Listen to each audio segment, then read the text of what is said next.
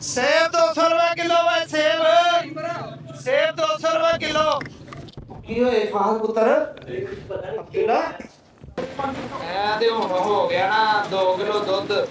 ਤੇ ਉਹਨਾਂ ਨੂੰ ਦੇਣਾ 5 ਕਿਲੋ ਉਹਦੇ ਵਿੱਚ 3 ਕਿਲੋ ਪਾਣੀ ਸੁੱਟ ਰਹੇ ਆ ਅਸਲਾਮ ਅਲੈਕਮ, ਮੈਂ ਵਾ ਤੁਹਾਡਾ ਆਪਣਾ ਪੀਕੇ ਰਣਜੀਤ ਦੇ ਟਾਈਟਲ ਤੋਂ ਤੁਹਾਨੂੰ ਪਤਾ ਲੱਗ ਗਿਆ ਹੋਵੇਗਾ ਵੀਡੀਓ ਦਾ। ਤੇ ਆਓ ਵੀਡੀਓ ਦੀ ਤਰਫ। ਤੇ ਵੀਡੀਓ ਦੇ ਜਾਣ ਤੋਂ ਪਹਿਲਾਂ ਮੇਰਾ ਵਾਮੀ 7 ਟੀਵੀ YouTube ਚੈਨਲ ਲਾਈਕ ਕਰਨਾ ਸ਼ੇਅਰ ਕਰਨਾ ਸਬਸਕ੍ਰਾਈਬ ਜ਼ਰੂਰ ਕਰਨਾ, ਬਲਕਿ ਬੈਲ ਆਈਕਨ ਜ਼ਰੂਰ ਦਬਾਣੀ ਤਾਂ ਕਿ ਨਵੀਆਂ ਆਉਣ ਵਾਲੀਆਂ ਵੀਡੀਓ ਤੁਹਾਡੇ ਕੋਲ ਜਲਦੀ ਤੋਂ ਜਲਦੀ ਪਹੁੰਚਣ। ਯਾਦ ਯਾਦਾ ਅੱਜ ਮਾਲ ਬਾਬਾ ਦਾ ਕੀ ਨਿਕਲ ਆਇਆ। ਜਿਵੇਂ ਅੱਗੇ ਨਹੀਂ ਨਾ ਕਿਸੇ ਨੂੰ ਪਤਾ ਲੱਗਦਾ ਇੰਜੀ ਅੱਜ ਵੀ ਨਾ ਨਾ ਕਿਸੇ ਨੂੰ ਪਤਾ ਲੱਗੇ ਤੇ ਦਿਹਾੜੀ ਬਾਬਾ ਪੈ ਜਾਏਗੀ ਮਾਦੀ ਭਾਣ ਸੇਬ ਦਾ ਕੀ ਰੇਟ ਜੇ? ਸੇਬ ਭਾਵੇਂ 200 ਰੁਪਏ ਕਿਲੋ ਤੇ ਏ ਆੜੂ?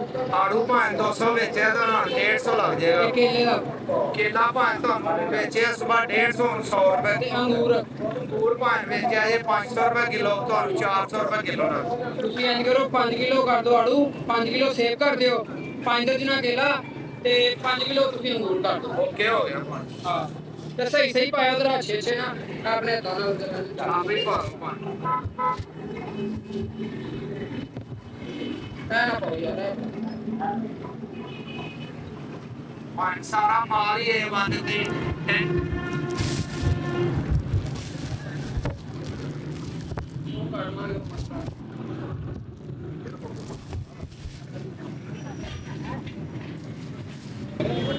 ਪਾਇਨਾ ਪਾ ਦੋ ਚੰਗੀ ਚੰਗੀ। ਹੈ ਪੰਜ ਦਰਜਨਾ ਕਰ ਦਿਓ।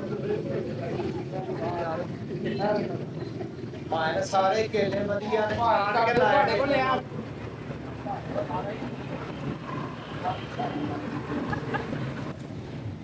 ਭਾਵੇਂ ਹੋਰ ਡਬਲ ਕਰ। ਦੇ ਭਾਵੇਂ ਕਿ ਛਾਪਰ ਤੇ ਦਿਓ ਜ਼ਰਾ।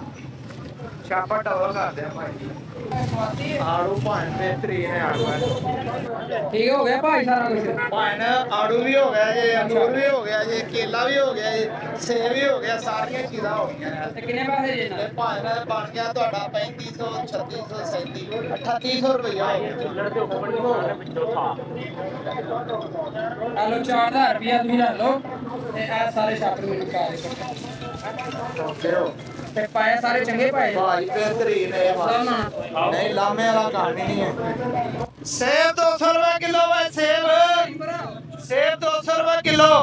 250 ਦੇ 2 ਕਿਲੋ ਅੰਬ ਭਾਈ ਸੇਬ 150 ਸੇਬ 200 ਰੁਪਏ ਇਹ ਤੇ ਹੁਣ ਹੋ ਗਿਆ ਨਾ 2 ਕਿਲੋ ਦੁੱਧ।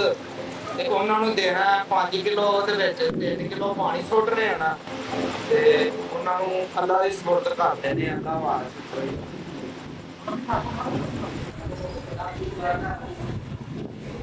ਉਹਨੇ ਤੇ ਜੀ ਪਾਉਂਦੇ ਆ ਨਾ 3 ਕਿਲੋ ਪਾਣੀ ਤੇ ਉਹਨਾਂ ਨੂੰ ਕਿਹੜਾ ਪਤਾ ਲੱਗਣਾ ਹੈ? ਅੱਗੇ ਵੀ ਰੋਜ਼ ਪੀਂਦੇ ਹੀ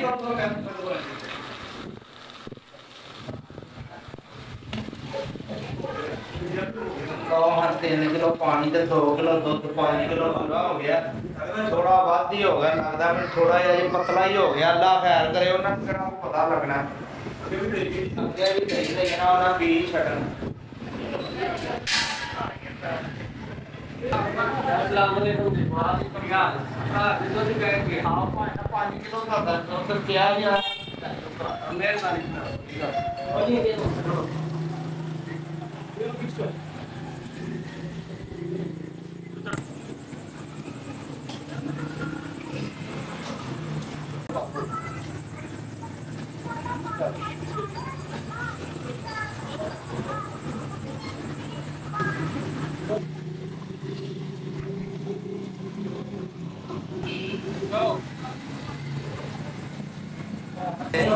ਆਟੇ 'ਚ ਵੀ ਚੋਖਰ ਮਿਲ ਗਿਆ ਤੇ ਵਾਮ ਨੂੰ ਕਿਹੜਾ ਉਹ ਪਤਾ ਲੱਗਣਾ ਹੈ।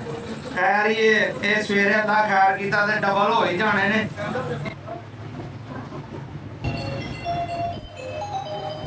ਇਸ ਟਾਈਮ ਖੈਰ ਹੋਵੇ ਸੇ ਮੀਆਂ ਸਾਹਿਬ। ਹਾਂਜੀ ਮੀਆਂ ਸਾਹਿਬ, ਕੀ ਹਾਲ ਹੈ?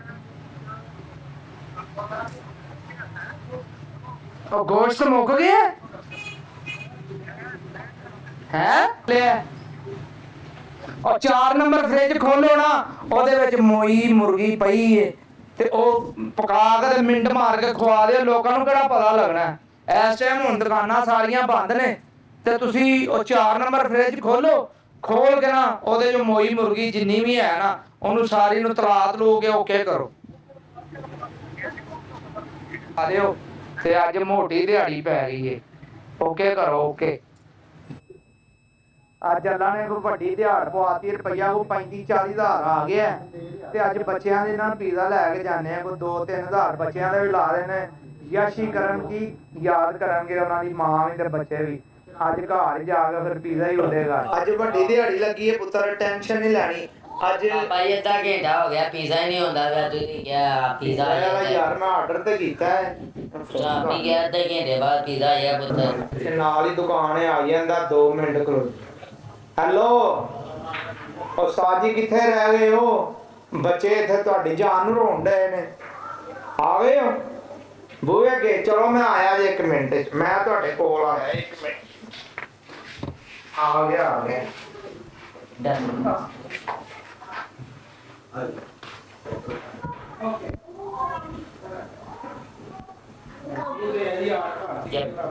ਪੀਜ਼ਾ ਖਾਈਏ ਨਾ जब सारा खाना थोड़ा ਜਿਹੜਾ ਫਲੇਵਰ ਮੈਂ ਕਿਹਾ ਉਹ ਨਹੀਂ ਲਵਾਇਆ ਜੀ ਨਾ ਜਿਹੜਾ ਫਲੇਵਰ ਮੈਂ ਕਿਹਾ ਉਹ ਹੀ ਲਿਆਂਦਾ ਜੀ ਨਾ ਓਏ ਓਏ ਓਏ ਮਿਹਰਬਾਨੀ ਯਾਰ ਤੇਰੀ ਜਲਦੀ ਕਰ ਪੀਲੇ ਦੇ ਕੱਟ ਕੇ ਫਟਾਫਟ ਕਰ ਬੱਚੇ ਉਹ ਰੋਂਦੇ ਨੇ ਮੇਰੀ ਜਾਨ ਨੂੰ ਹੋਰ ਨਾ ਇਹ ਕਰ ਰਹੇ ਚਾਹ ਚਾਹ ਹੀ ਨਹੀਂ ਇਹ ਚੁੰਮੜ ਯਾਰ ਆ ਚਲ ਪੇਪਰ ਮੇਰੀ ਹੋ ਗਈ ਉਹ ਨਾ ਆਨਲਾਈਨ ਹੈ ਬਾਕੀ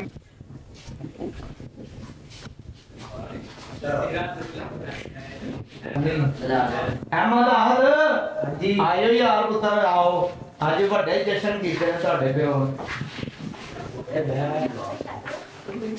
ਤੇ ਹੋ ਗਏ ਪੁੱਤਰ ਭਾਈਓ ਆਪਣੇ ਘਰ ਬੈਠੇ ਹੋ, ਕਿਹੜਾ ਕਿਸੇ ਦੇ ਘਰ ਆਏ ਹੋ? ਜੀਦਾ ਤੇ ਗਿਆ ਜੇ ਨਾ ਆ। ਤੇ ਹੁਣ ਮੈਂ ਤੁਹਾਨੂੰ ਤਾਂ ਪਾ ਕੇ ਦਿਆਂ ਜਰਾ।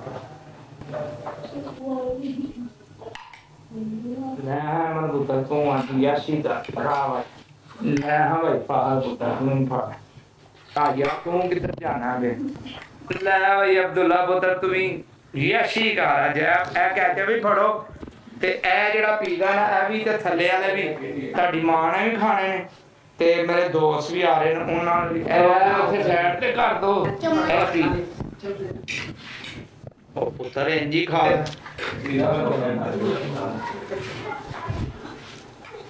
ਮਜ਼ੇਦਾਰ ਪੀਜ਼ਾ। ਨਹੀਂ ਪਾਪਾ ਪੇਟ ਪਤਾ ਨਹੀਂ ਕੀ ਹੁੰਦੇ ਆ ਰੇ ਕੀ ਹੋਇਆ? ਕੀ ਹੋਇਆ ਫਾਹਦ ਪੁੱਤਰ? ਅਬਦੁੱਲਾ ਉਹ ਕੀ ਕੀ ਹੋ ਗਿਆ ਪੁੱਤਰੋ ਤੁਹਾਨੂੰ? ਉਹ ਪੀਜ਼ੇ ਚ ਪੀਜ਼ੇ ਚ ਕੀ ਸੀ ਤੁਸੀਂ ਦੇਖੋ ਤੁਸੀਂ ਕੋ ਬਾਬਾ ਕਰ ਦੋ ਆਪਣਾ ਕੋ ਦਿਲ ਕੋ ਤਾਂ ਬਾਬਾ ਜੀ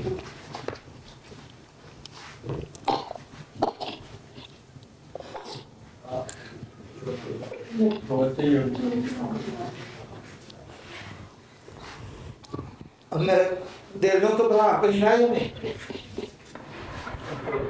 ਅਜੇ ਜਿਹੜਾ ਕਿ ਦੇਖਦੇ ਹੋ ਬੋਲੀ ਆਪ ਨੂੰ ਕਰ ਦੋ हाँ भाई जवाना की है ਪਤਾ ਨਹੀਂ ਆਖਰ ਪੀਜ਼ਾ ਮੰਗਵਾਇਆ ਹੈ। अच्छा ਬੱਚੇ ਵੀ ਬਿਮਾਰ ਹੋ ਗਏ ਨੇ हम्म।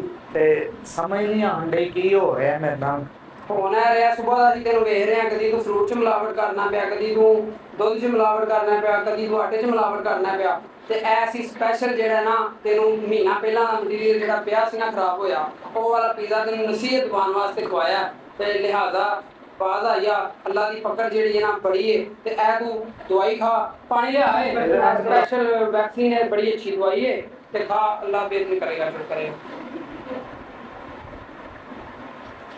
ਕਿ ਭਾਇਆ ਮੈਂ ਪੁੱਤਰ ਫੜਾ ਸਾਧ ਪੁੱਤਰ ਖਾਓ ਉਹਨੂੰ ਫਟਾਫਟ ਮਿੰਟ ਮਾਰੋ। ਖਾਓ ਫਟਾਫਟ ਕਰੋ। ਪਾਣੀ ਪੀ ਉਹਦਾ ਪਾਣੀ ਪੀ ਮੇਰਾ ਮੇਰਾ ਸੀ ਸਾਹ ਅਸਲਾਮ ਅਲੈਕਮ ਮੈਂ ਤੁਹਾਡਾ ਆਪਣਾ ਪੀਕੇ ਰਣਵੀਰ ਅੱਜ ਦੀ ਵੀਡੀਓ ਦਾ ਮਕਸਦ ਇਹ ਹੀ ਕਿ ਜਿਹੜੇ ਲੋਕ ਮਿਲਾਵਟਾਂ ਕਰਦੇ ਨੇ, ਚੀਨੀ 'ਚ ਮਿਲਾਵਟ ਕਰਦੀ, ਘਿਓ 'ਚ ਕਰਦੀ, ਆਟੇ 'ਚ ਕਰ ਰਹੀ, ਤੇ ਅੱਜ ਤੋਂ 20 25 ਸਾਲ ਪਿੱਛੇ ਚੱਲ ਜਾਓ, ਉਦੋਂ ਲੋਕਾਂ ਦਾ ਨਹੀਂ ਤੇ ਉਹ ਵੇਲਾ ਹੁੰਦਾ ਸੀ, ਕੋਈ ਬੰਦਾ ਨਹੀਂ ਸੀ ਆਂਦਾ ਲੋਕੀ ਬਿਮਾਰ ਨਹੀਂ ਸਨ ਹੁੰਦੇ, ਠੀਕ ਹੈ। ਤੇ ਹੁਣ ਵੇਖ ਲਓ, ਹਸਪਤਾਲ ਚੱਲ ਜਾਓ ਕਲੀਨਿਕ ਤੇ ਚੱਲ ਜਾਓ ਭਰੇ ਹੀ ਇਹ ਦੁਨੀਆ ਆਵਾਮ ਇੰਜ ਜਾ ਰਹੀ ਹੈ ਕਿ ਛੱਡ ਗੱਲਾਂ ਦਿਓ। ਤੇ ਇਹ ਵੀਡੀਓ ਸਿਰਫ ਇਸ ਵਾਸਤੇ ਬਣਾਈ ਏ ਇਸ ਮਕਸਦ ਲਈ ਕਿ ਤੁਸੀਂ ਨਾ ਮਿਲਾਵਟ ਕਰੋ ਤੇ ਨਾ ਤੁਹਾਡੇ ਘਰ ਕੋਈ ਮਿਲਾਵਟ ਵਾਲੀ ਚੀਜ਼ ਆਵੇ।